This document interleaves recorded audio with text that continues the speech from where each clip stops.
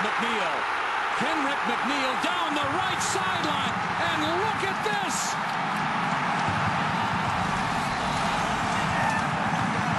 It's Coryell Judie, the other number five for Texas A&M.